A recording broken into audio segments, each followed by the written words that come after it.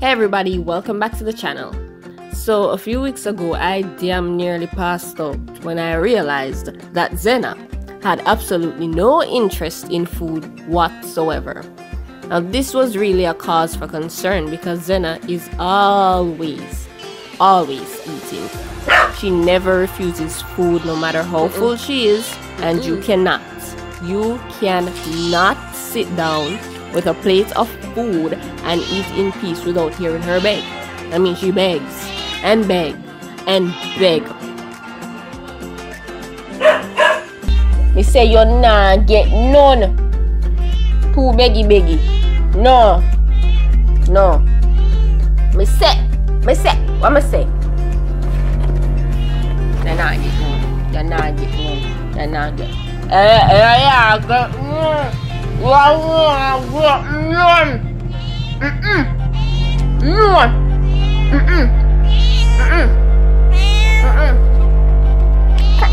Come on, family.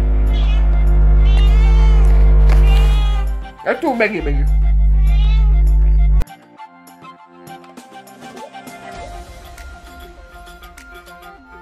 I mean, if she sees you heading into the kitchen, she's racing right behind you. And if you open the fridge, she's right there too. So when I saw that her appetite literally vanished overnight, I knew something was definitely wrong. And on top of that, the cat looked depressed. She got very thin, she wasn't willing to play, and her fur was unkempt.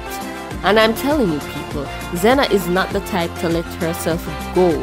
I know cats always groom themselves, but trust me when I say that. You see Xena? Xena, she is very meticulous when it comes on to grooming her fur. She'll go on for hours grooming and even stop in the middle of anything that she's doing just to do touch-ups. So it it was very obvious that she was sick and of course i went into panic and i started to overreact and google didn't make it any easier for me either so at that very moment my only ray of sunshine was the fact that she was still drinking her water and the lord Yup, I started to get real religious. I'm there praying and laying hands upon her and all of that holy stuff. But long story cut short, turns out the poor cat was constipated. Yeah, so stick around to find out how I was able to fix this and for other useful tips throughout the video. Stay tuned.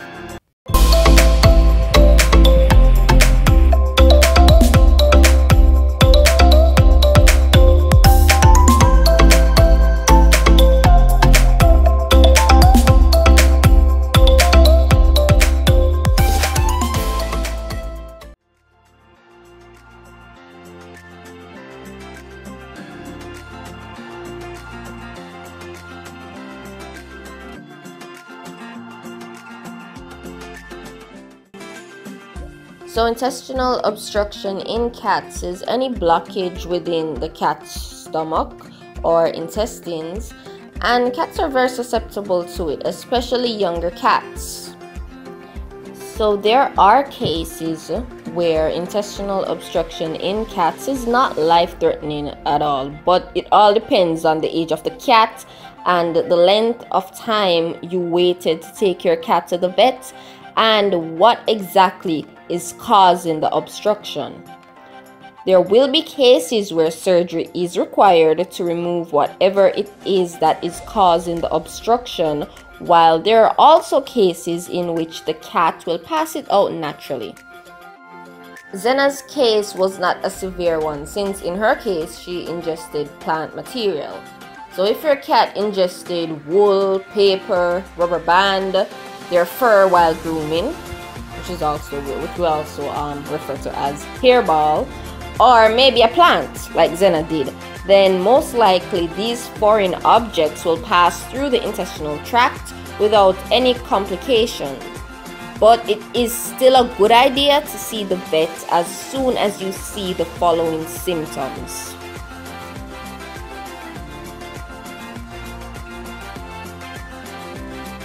So Xena's vet did not prescribe any fancy medication. She only recommended pumpkin, which would aid in the entire passing out process of this foreign plant material that was inside of her.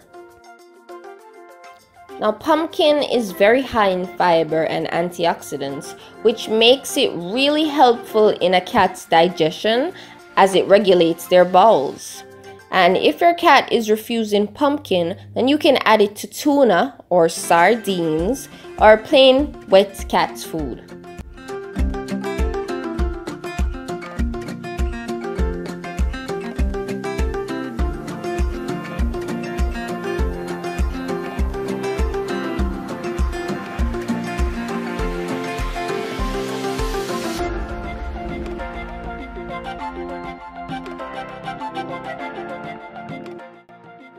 So basically, the dietary fiber provided by the pumpkin absorbs stomach acid, excess water, and helps move any ingested fur or other material through the digestive tract of your cat.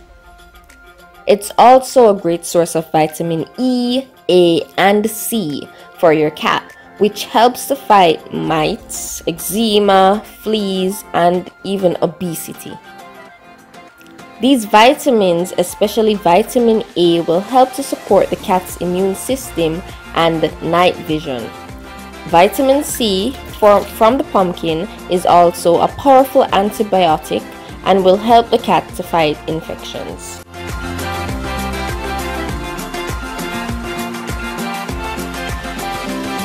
If you guys realize, I didn't put a lot of water.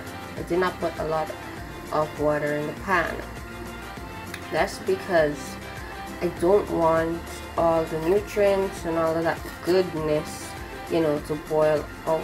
I'm trying to keep as much of it as possible. I'm trying to retain as much of the nutrients as possible. So basically I'm not really like boiling it.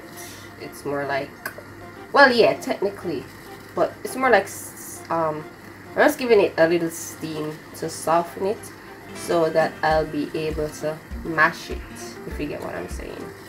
But yeah it's technically still boiling. But I'm not I did not use a lot of water. Yeah. So yeah that's uh, that's just the aim just to just to soften it so that I'll be able to crush it make a nice puree. It's not really I'm not really like boiling boiling because I'm trying to retain all of that nutrients all the fiber and good stuff you know. Okay.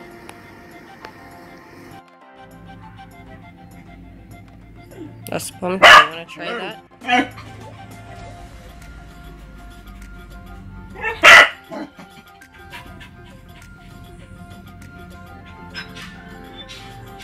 I think she actually likes it, but she's not gonna eat it she's not gonna eat it right now because it's hot.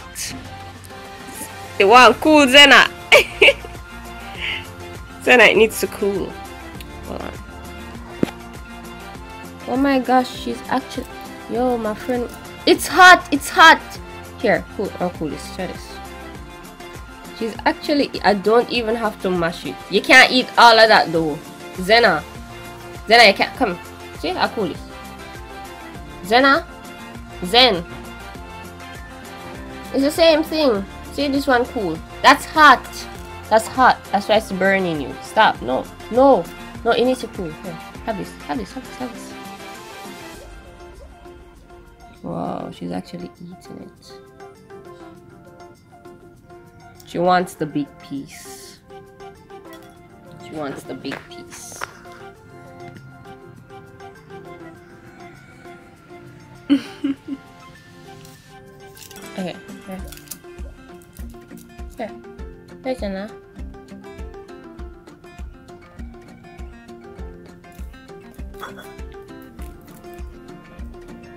okay I didn't even have to try and disguise the pumpkin.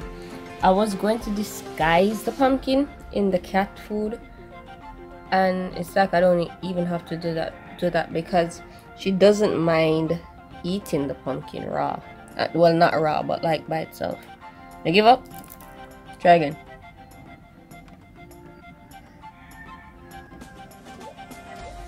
You want tuna now? Okay. I'm gonna like do a little.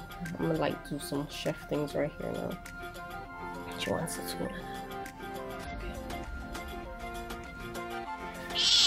Glad to know your appetite is back. You're going to man the tin cut you. right? Hey, hey, stop. Ma mind cut you. Xena, Xena.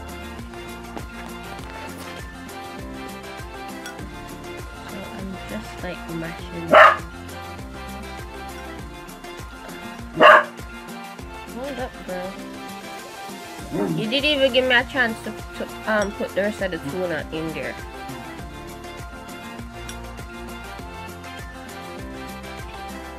Mine I get cut you know, you're of.